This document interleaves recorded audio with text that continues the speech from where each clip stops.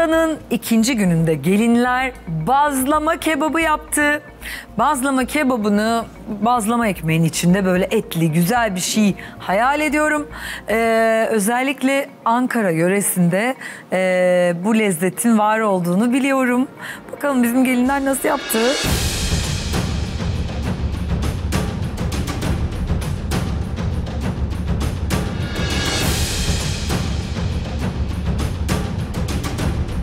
Pek bir lezzet bulamadım ben bu yemekte.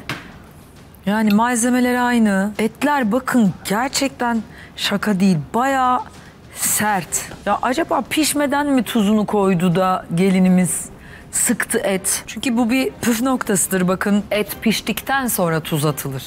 Eğer ki ete hele ki dana eti ise bu. Daha pişmeden tuzunu da atarsanız et sıkar. Bazlama ekmeği arasını içini çıkarmış gibi sanki. Böyle kabuk gibi. Yani lavaş iki lavaşı üst üste koymuşsun gibi diyelim. Bazlama daha pofidik. Daha içli. Hani böyle bir içli olur ya. Böyle olmaz. Dur bakayım daha iyi bir tabak var mı? Yani bu çok başarılı bir tabak değil. Üzgünüm.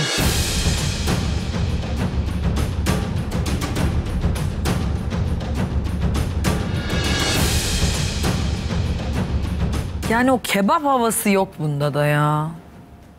Baharat yok. Ha çok lezzet var mı? Yok. Yenir mi? Yenir. Bak biraz ekmek sosu çekmiş. Kötünün iyisi bir tabak bu. Ama birden çok daha iyi. Bakayım üçe.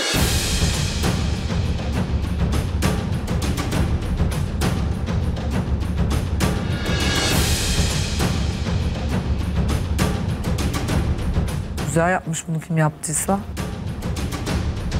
Bakayım ekmeği de güzel pişmiş. Şunlara nazaran baksanıza. Şu gözleme gibi olmuş bir numaralı tabak. Bu da yırtılmış. Bu gerçekten güzel. İçlenmiş. Şimdi ben dört numaralı tabağa geçmek istiyorum.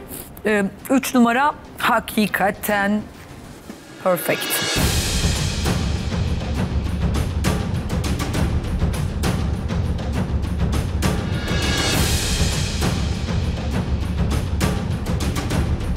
Da güzel bakın. Renginden bile belli. Üçü de sevdim, dördü de sevdim. Ama sanki üçü biraz daha fazla sevdim. Ay hadi başlayalım o zaman. Efendim ben dört numaralı tabağa dört puan veriyorum. Üç numaralı tabak kesinlikle beş puan alır. Sen kötünün iyisiydin. Benim şarkıdaki gibi. Kötünün iyisi. Hmm, puan alırsın. Bu gerçekten yani aynı malzemeler ama tat tuz yoktu ya. Lezzet yoktu ve et çok sertti. Bir puan. Şimdi bakalım bunlar hangi gelinlerimin tabakları? Dört numaradan başlamak istiyorum ben.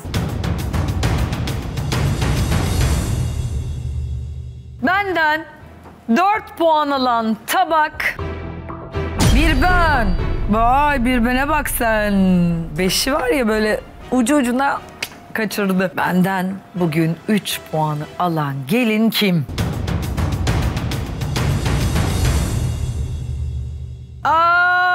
Açtım. Ezgi. Allah. Geriye Aysun ve Nur kaldı. Benden 5 puan alan tabak Nur mu Aysun mu? Benden 5 puan alan gelin açtım. Aysun ne oldu yavrum ya? Lavaş gibi yapmışsın bazlamayı. Etler sert. Bak bu güzel olmuş. Eline sağlık Nurcum. Valla Aysun hala şoktayım ya Aysun. Evet ben tadımımı yaptım. Puanlarımı verdim.